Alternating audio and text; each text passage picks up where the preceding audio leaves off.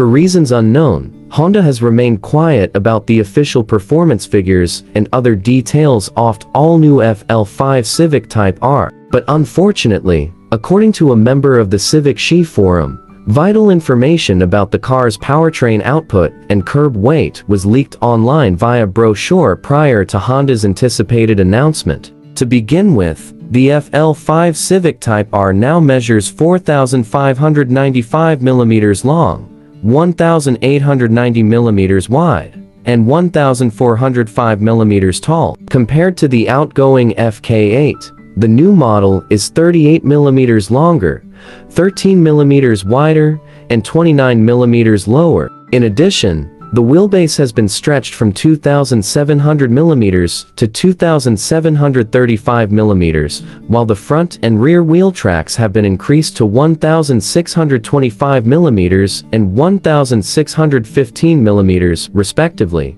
Furthermore, from 132 millimeters in the FK8, the FL5's ground clearance is lower at 125 millimeters. More specifically, the Japanese document claims the car will produce 330 PS at 6,500 revolutions per minute and 420 nanometers of torque at 2,600 to 4,000 RPM, a 10 PS and 20 nanometers improvement from the FK8's numbers. Interestingly, the all-new Civic Type R 6-speed transmission has a lower final drive than the FK8. From 4.111 the FL5 now has a 3.842 final drive ratio. With similar gear ratios to the outgoing model, this should give the new one a higher top speed at the expense of acceleration. Honda also gave smaller but wider wheels to the FL5. The Civic Type R now has 19-inch wheels wrapped in two 6.530ZR19 tires, compared to the 20-inch alloys with two 4.530ZR20 rubber on the old one.